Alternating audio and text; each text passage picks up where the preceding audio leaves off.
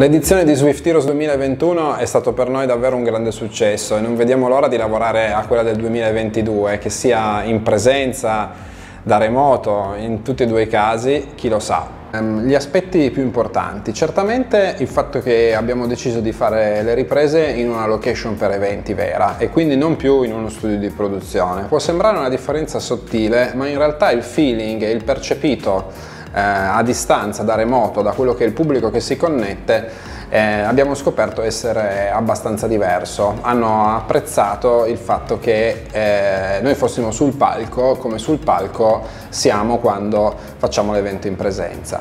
E devo dire che anche per il team che ci ha lavorato un po' fa la differenza, nel senso che ti dà un minimo quella sensazione che ti dava il salire sul palco eh, della tua location. Ecco, questo sicuramente è uno dei punti salienti.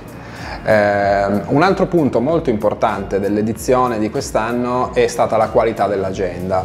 Abbiamo avuto un'agenda che eh, è stata commentata da quasi tutti gli esperti di settore come una delle migliori agende eh, lato iOS eh, che si sono viste negli ultimi anni. Abbiamo avuto esperti, professionisti freelance, esperti di grandi aziende, davvero una serie di, di nomi e di argomenti molto interessanti. Tra questi ha spiccato la tavola rotonda eh, composta da ben 10 esperti di iOS, che tra l'altro ha visto il ritorno ehm, dello sviluppatore capo del New York Times, che era stato con noi addirittura in presenza facendo lo speech di apertura nel 2018 eh, che si è voluto unire per portare comunque la sua firma a, a questa tavola rotonda che pensate all'ora di pranzo ha sforato l'ora e 10 di durata nonostante appunto eh, la gente volesse anche fare una piccola pausa ma avere a disposizione 10 esperti iOS pronti a raccontare i, le loro esperienze è stato davvero coinvolgente. Infine un altro punto che mi sentirei di citare è l'engagement che ha, che ha avuto il pubblico. Eh, sono letteralmente piovute le domande su tutti e due i canali di, di trasmissione dell'evento, quindi per tutte e nove le ore della trasmissione ci sono state domande agli speaker praticamente ininterrottamente. Se non ricordo male non c'è stato un singolo talk di cui siamo riusciti a evadere tutte le domande che sono arrivate, ma abbiamo sempre purtroppo dovuto stoppare per eh, questioni di programmazione ovviamente e rinviare a eventuali contatti diretti con gli speaker. Abbiamo superato i 750 biglietti venduti e stiamo ancora contando perché l'evento rimarrà aperto per diversi mesi dopo la data ufficiale. E questo è un risultato incredibile per come la vediamo da un punto di vista di un evento digitale, anche considerando che è andato molto oltre i risultati dei precedenti eventi fisici. Sempre parlando di partecipanti all'evento, l'altro risultato straordinario è che abbiamo avuto partecipanti da ogni continente e si sono effettivamente collegati, non tutti in diretta ovviamente per via della,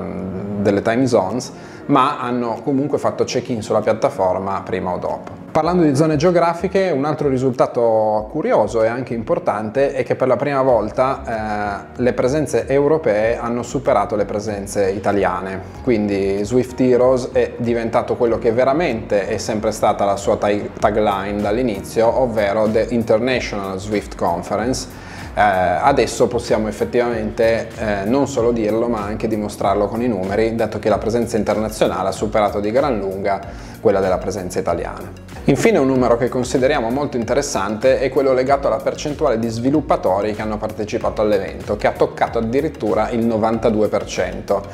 Eh, rispetto a un'oscillazione tra i 75 e l'80 delle edizioni precedenti. Questo naturalmente ci dimostra quanto sia in target l'evento e soprattutto quanto sia diventato davvero interessante per le persone perché per pagare un biglietto e collegarsi da casa devi effettivamente essere interessato e questo è il motivo che ci porta ad avere così tanti sviluppatori in target all'interno dell'evento. La community è sicuramente uno dei punti di forza dei nostri due eventi principali per sviluppatori. È la community di Swift Heroes che abbiamo diciamo, iniziato a far crescere nel 2018 è sicuramente uno dei punti di forza dell'evento sponsor e si rivolgono a noi soprattutto perché sanno esistere una vera community attorno a questo movimento. E ci fa piacere notare che i feedback sono stati tanti e tutti, tutti, tutti molto molto positivi.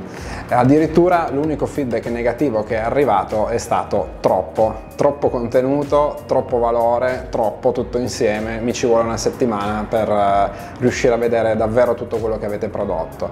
Allora, per come la vediamo noi ci sono molti pro e pochissimi contro, anzi, per essere sinceri, il contro principale, lo sappiamo tutti, di un evento in Italia è la mancanza del catering. Eh, battute a parte, è chiaro che il contro grosso che anche tutti i clienti ci chiedono come facciamo a superare è l'assenza diciamo, del contatto umano, no? eh, il contatto dal vivo, stare vicino, incontrarsi, rivedersi. Questi sono probabilmente due punti eh, che saranno per sempre a sfavore degli eventi digitali.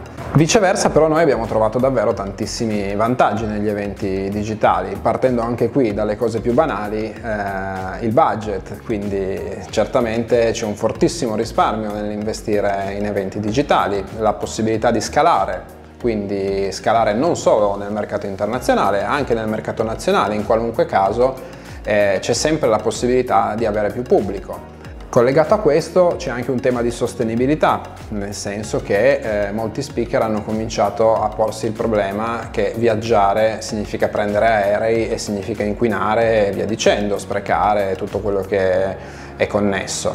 Mentre invece la partecipazione in digitale naturalmente annulla praticamente tutte queste mh, mm, tipologie di problemi. Inoltre l'evento digitale è un evento mm, per definizione on demand, quindi io non sono obbligato a stare connesso al video eh, all'ora in cui va in onda l'evento, ma posso decidere di collegarmi in seguito, posso decidere di rivederlo quante volte voglio. Questa è una cosa che sicuramente è destinata a durare nel tempo come esperienza che l'utente si sta facendo. Sostenibile significa anche inclusivo, inclusivo e quindi pensiamo alle disabilità. Eh, non è una sorpresa per noi scoprire che abbiamo avuto diversi eh, spettatori connessi dall'Africa, alcuni dei quali disabili, completamente disabili, che quindi non avrebbero mai potuto eh, partecipare a un evento del genere in presenza. Per noi è stata una sorpresa positiva, ma in questo caso eh, la tecnologia ci permette di abbattere letteralmente tutte le barriere fisiche. È stato curioso quella che è l'evoluzione diciamo, del mio dipartimento, perché con l'avvento della pandemia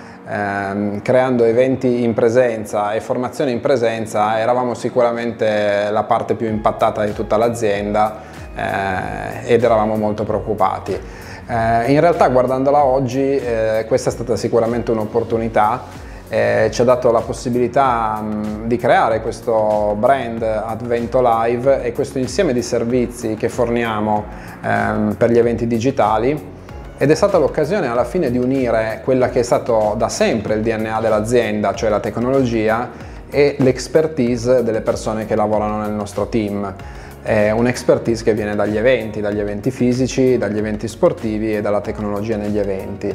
Ed è stato quasi naturale per i clienti chiederci una mano eh, nel supportarli con gli eventi digitali perché abbiamo questo, questo bagaglio tecnico e abbiamo queste capacità, piattaforme, soluzioni, servizi.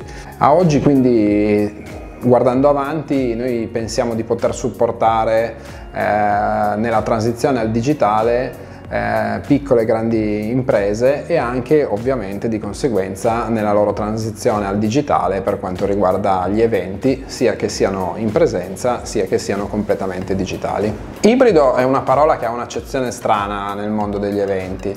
Quella che è la nostra percezione ad oggi, posto che nessuno di noi ha la sfera di cristallo per sapere cosa succederà, è che certamente non esisterà un mondo dove non esiste il digitale, perché è un'esperienza che l'utente ormai si aspetta, cioè sarà scontato poter fruire di un qualche cosa da remoto. Questa è la nostra percezione in questo momento dell'immediato e anche del medio futuro nel mondo degli eventi. Sarà molto difficile per un utente accettare che per partecipare a un evento deve prendere un aereo a tutti i costi, deve essere lì fisicamente. Naturalmente sarà bellissimo per loro, per questi utenti, avere la possibilità di farlo, ma avere la scelta. In questo senso noi ehm, intendiamo la parola ibrido, nel senso che ci sarà sempre comunque una parte digital eh, che permetterà agli utenti di essere collegati da ogni angolo del pianeta.